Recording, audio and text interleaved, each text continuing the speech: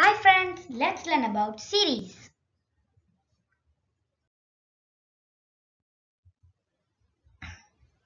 Dwarf planet Ceres is the largest object in the asteroid belt between Mars and Jupiter and the only dwarf planet located in the inner solar system.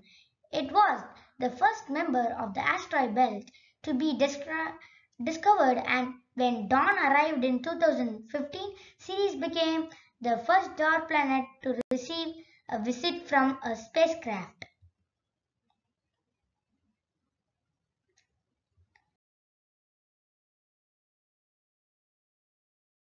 An asteroid for many years, Ceres is so much bigger and so different from its rocky neighbors that scientists classified it as a dwarf planet in 2006 even though Ceres compares 25% of the asteroid belt's total mass. Tiny Pluto is still 14 times more massive. Ceres is named for the Roman goddess of corn and harvest. Orbit and rotation. Ceres takes 1682 Earth days for or 4.6 Earth years to make one trip around the Sun. As Ceres orbits the Sun, it completes one rotation every 9 hours, making its day length one of the shortest in the solar system.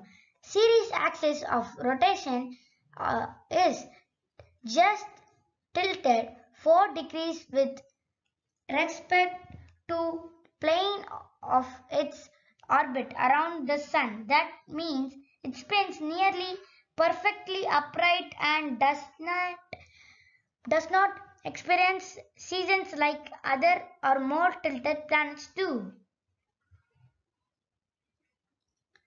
Atmosphere has a very thin atmosphere and there is evidence it contains water vapor. The water vapor may produced by ice, volcanoes or by ice near the surface. Moons. Ceres does not have any moons. Formation. Ceres formed along with the rest of the solar system about 4.5 billion years ago when gravity pulled swirling gas and dust in to become a small dwarf planet. Nearby Jupiter's strong gravity prevented it from becoming fully formed planet. About 4 billion years ago, Ceres settled into its current location among the leftover pieces of the planetary formation in the asteroid belt between Mars and Jupiter.